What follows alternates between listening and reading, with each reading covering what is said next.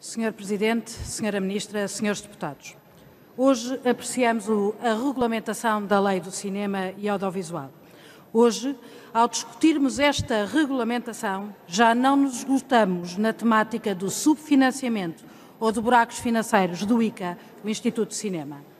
Em contexto de crise, nos piores anos da mesma, o anterior governo dispôs a fazer e aprovar uma lei, uma base para uma definição de uma política efetiva para o cinema e audiovisual português.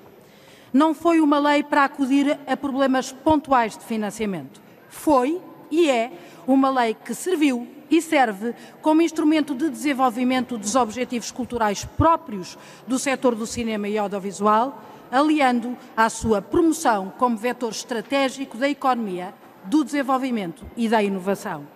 E que também contribuísse para a estabilização e criação de empresas mais sólidas e equilibradas. Muito foi já alcançado, mas com toda a certeza, muito ainda estará no caminho de o vir a ser.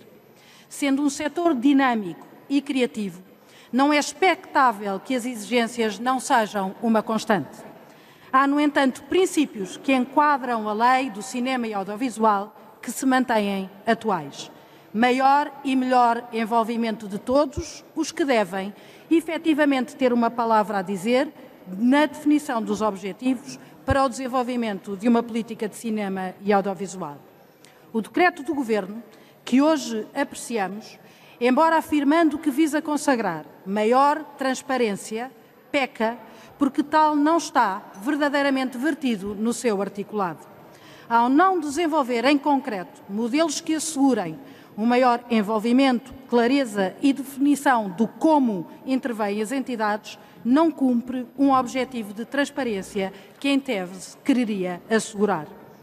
Mais importante do que a discussão em termos de júris de concursos, o que para o PSD é fundamental é a transparência, a transparência nos critérios e, sobretudo, uma definição clara do papel de cada um.